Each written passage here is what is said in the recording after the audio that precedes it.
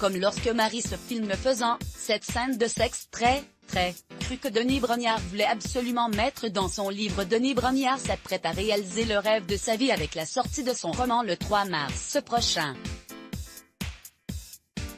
Un ouvrage tiré d'une histoire vraie, ponctué de souvenirs, de blessures, et de scènes de sexe cru, et parfois choquantes, qu'il explique.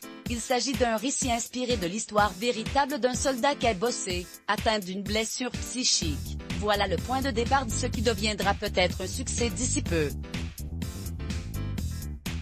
Le 3 mars prochain, Denis Brognard verra son premier livre sortir. Un rêve depuis toujours, une façon de rendre qui est son père,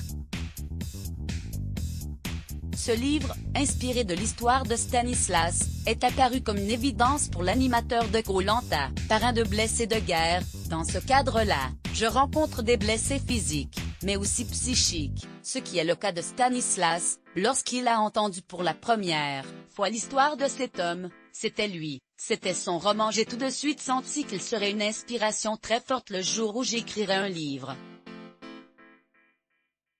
Alors pendant le confinement, Denis Brognard prend le temps d'en savoir plus sur sa vie. Dès le début du confinement, je l'ai appelé et j'ai commencé des heures d'entretien avec lui, mais aussi avec son ex-femme avant de se lancer. Mission réussie.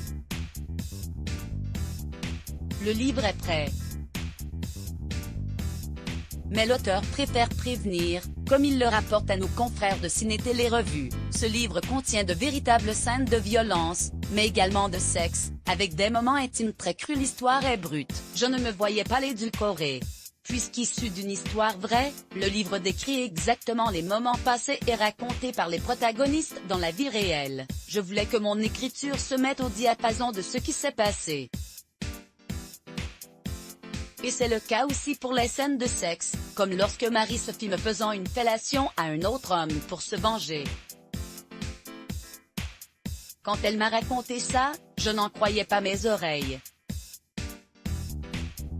Mais cette scène est primordiale, car elle montre l'état de détresse de cette femme.